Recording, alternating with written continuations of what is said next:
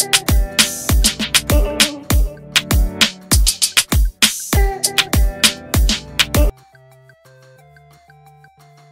ยื่อเปิดใจดราม่ากล่องสุ่ม นาราเครปกระเทย เสียหายครึ่งล้านโดนไล่ไปฟ้องเอาเหยื่อเปิดใจดราม่ากล่องสุ่ม นาราเครปกระเทย เสียหายครึ่งล้านโดนไล่ไปฟ้องเอาอยากให้เรื่องที่เกิดขึ้นเป็นบทเรียนของนารา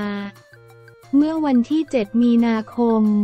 นายบอย นามสมมุติ ผู้เสียหายเปิดใจกับข่าวสดออนไลน์ หลังจากลงทุนกล่องสุ่มของนายอนิวัตรประทุมถิ่นหรือนาราเครปกะเทยเสียหายกว่า 620,000 บาท แต่ไม่ได้รับเงินทุนคืนเมื่อทวงถามก็ถูกตอบกลับ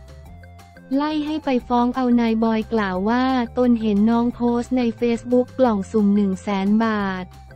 ได้ทองเท่านี้นี้ตนสนใจจึงไปดูรีวิวก็เห็นว่ามีคนรีวิวเยอะประกอบกับนารามียอดติดตามเยอะคิดว่าน่าเชื่อถือจึงตัดสินใจลงทุนไป ซึ่งช่วงแรกก็ได้ตามที่บอกไว้เราก็ลงทุนมาเรื่อยๆ จนช่วงหลังมานี้ตั้งแต่เดือนนก พอ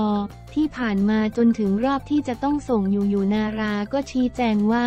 ขอยกเลิกกล่องสุ่มทั้งหมดและจะทยอยคืนเฉพาะเงินทุน จากนั้นทีมงานนัดคืนเงินงวดแรกคือช่วงเดือนมีนาคม ตนก็ไปสรุปยอดมารวมทั้งหมด 620,000 บาท ด้านนาราชี้แจงว่าจะทยอยคืนเฉพาะยอดที่ลงทุนไปยอดละ 50,000 บาทโดยวันที่ 3 มีนาคมตนได้ทักไป เพราะเป็นวันที่จะต้องได้เงินคืนยอดแรก แต่นาราบอกว่า ขออนุญาตเลื่อนเป็นพรุ่งนี้และขอโอนแค่ 30,000 บาททุกวันพร้อมกับให้เหตุผลว่าไม่มีเงินจ่าย นายบอยกล่าวว่าตนรู้สึกเสียขวัญว่าวันนี้จะต้องคืนยอดแรก แต่ไม่ได้คืน นอกจากนี้ยังถูกลดเงินจาก 50,000 เหลือ30,000 บาทอีกแล้ววันก่อนนาราก็โอนเงินมาให้ 25,000 บาท พร้อมกับบอกในกลุ่มว่าสำหรับใครที่ไม่มีปัญหา ไม่เรื่องเยอะไม่ปากดีรับไปเลย 25,000 บาททุกวัน แต่ถ้าใครมีปัญหาเรื่องเยอะก็เอาไป 3 วันจ่าย 25,000 บาทรอได้ก็รอรอไม่ได้ก็ไปแจ้งความเอา จากนั้นนาราก็ยังพูดท้าทายว่า ให้ไปฟ้องเอาเลยเลยตนเลยแจ้งกลับไปว่า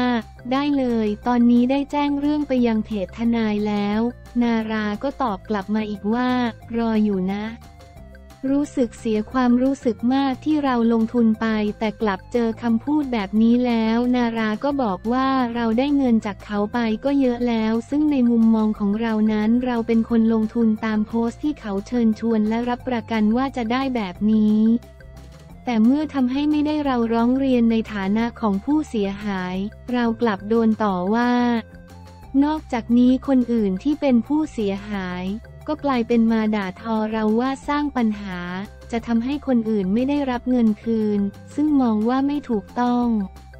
เพราะสาเหตุที่โพสต์คือต้องการปกป้องทุกคนกลัวว่าทุกคนจะไม่ได้เงินคืน หลังจากนี้ตนจะปรึกษาทนายความว่าจะทำอย่างไรให้ได้เงินคืน เพราะกลัวว่าจะไม่ได้เงินคืนจริง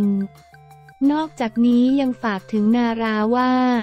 อยากให้เรื่องที่เกิดขึ้นเป็นบทเรียนของนารา เพื่อไม่ให้เกิดขึ้นซ้ำอีกส่วนที่ก่อนหน้านี้มีดราม่าแล้ว ก็ออกมาขอโทษ ซึ่งมองว่าคำขอโทษนั้นควรได้รับการแก้ไขมากกว่าการออกมาด่าทอผู้เสียหายแบบนี้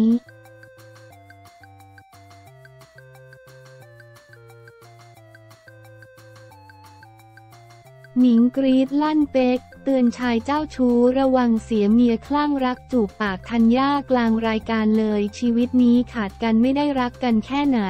หนิงกรีดลั่นเป๊กเตือนชายเจ้าชู้ระวังเสียเมียคลั่งรักจูบปากทัญญา กลางรายการไปเลยเป๊กสัญชัย ควงภรรยาสุดเลิฟธัญญาธัญญาเรศมาเปิดใจในรายการคุยแซบโชว์ตอนหนึ่งหนิงปณิตาถามเป๊กว่าพวกผู้ชายเจ้าชู้ที่ติดผู้หญิงหนักๆมันติดแล้วจะสามารถเลิกกับเมียได้จริง ๆ เหรอเป๊กตอบว่าอยู่ที่เขาคิดเหมือนพี่คิดกับธัญญาแบบไหน เราคิดดูแล้วว่าเราขาดผู้หญิงคนนี้ไม่ได้ หรือต้องการให้เป็นครอบครัวกันแบบนี้ เราก็คงเลือกทำแบบนี้ แต่ถ้าเราคิดไม่ได้ด้วยการลุ่มหลงชั่วขณะหรืออะไร มันอาจทำให้ชีวิตเราพังไปเลยก็ได้ เราก็ต้องเสียผู้หญิงคนนี้ไปเลยหนิงถามว่าพี่จะไม่มีวันยอมเสียผู้หญิงคนนี้ไป เป็กตอบเลยว่าถ้ายอมให้เสียเสียไปนานแล้ว พิธีกรลั่นพร้อมกันว่าชัดเจน คืนนี้คงได้ดีนะ หนิง ที่ย่าคืนนี้ต้องจัดหน่อยนะทัญญาจัดอะไร หนิงบอกจัดหนักหนักๆพร้อมบอกที่หอมแก้มหน่อยทัญญาตอบว่าอายลูกอายเด็กเป๊กเลยจับเมียมาจูบปากซะเลยทำเอาพิธีกรทั้งหนิงและชมพู่ก่อนบ่ายกรีดกันลั่นรายการเลยด้านทัญญาชื่นชมความเสมอต้นเสมอปลายสามีในการดูแล เรื่องลูกจะดูแลอย่างดีที่สุดทำให้เราตัดไม่ขาดเสียที ตอนนั้นยังไงก็เลิกจะฟ้องหย่าจะโน่นนี่นั่น แต่สุดท้ายมันตัดไม่ขาด ต้องกลับมาเดี๋ยวตีกันเดี๋ยวดีกัน อยู่อย่างนี้ไม่ค่อยได้บอกรักกันอยู่ที่การกระทำมากกว่าหนิง ถามว่าชีวิตนี้ขาดเขาได้ไหมทัญญายอมรับว่าขาดไม่ได้ดำเนินชีวิตมาครึ่งชีวิตกับกับเขา และมีลูกด้วยกันจะขาดคนใดคนหนึ่งไปไม่ได้ หนิง รักไหม รักสิแค่ไหนมันบอกไม่ได้ มันเป็นความผูกพันเป็นพ่อของลูกต่อจะให้ตีกันยังไงสุดท้ายก็ช่างมันเถอะหนิงถามเป็กบ้าง รักขนาดไหนเป็กยิ้มตอบว่าขนาดไหนคงบอกไม่ได้แม่ของลูกนะคลั่งรักขนาดลงไอจีไม่เห็นเหรอ หนิงปรบมือลั่นถูกใจใช่เลย เป็กบอกสงสัยจะไปทำอะไรผิดไม่ได้แล้วว่ะออกรายการนี้